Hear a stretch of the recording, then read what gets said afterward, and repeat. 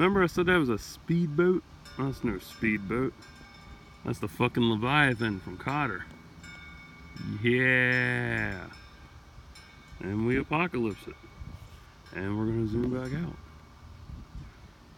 Look at that. That is fucking gorgeous. Ah!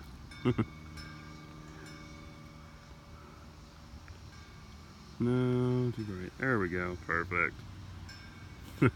yeah, that's a fucking Leviathan. Definitely, because you can see the T in the top and shit like boom.